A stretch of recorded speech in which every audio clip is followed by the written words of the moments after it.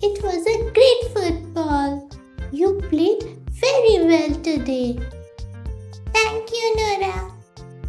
Hey, Nick. Check out this new game I got on my tablet. It's the coolest game ever. Yeah, hold on. I just need to put my password. Ah, no. I forgot my password. Know what to do? Don't worry. I have all my passwords safely written on my diary. Let's check. Achoo! Uh, no. I can't read the last number. It all vanished. Can you remember what they were? No. But I remember that I used a pattern. Pattern? Patterns are arrangements of things that are repeated in a systematic, sequential way. We can see patterns everywhere. Okay. Can you guys help Nick and me to understand pattern? Awesome! Looks like Nick is using a number pattern for his password. All we need to do is to find out the last three numbers of the password.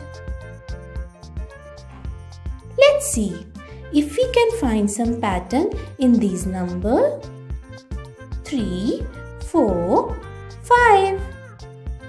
3, 4, 5. Hmm, can you guess? So, the number are repeating themselves after third number. 3, 4, 5. 3, 4, 5. Do you know what comes after 3, 4, 5? Yes, the next number in the pattern is 3, 4, 5. Let's try it out. Yes, we got it. Let's try other given patterns. We can see that the above pattern is made up of slanting lines. One can make beautiful rangolis by using the patterns created by slanting lines and curved lines. Patterns can also be formed by using our hands and feet. People usually use prints of their palm, wrist, feet to create beautiful patterns. Thumbprint patterns are also common. Hands, feet, hands, feet. Can you guess? Yes! Now the pattern is hands and feet. Come on, let's try another one. Circle, square, circle, square. Hmm, can you guess? What's next? Is it a square? No. Is it a circle? Yes.